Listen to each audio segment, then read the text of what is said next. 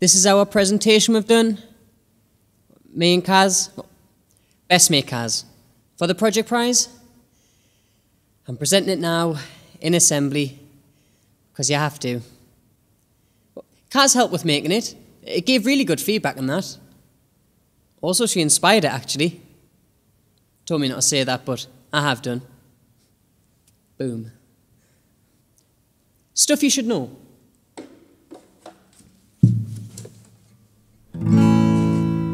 Um, it's a musical.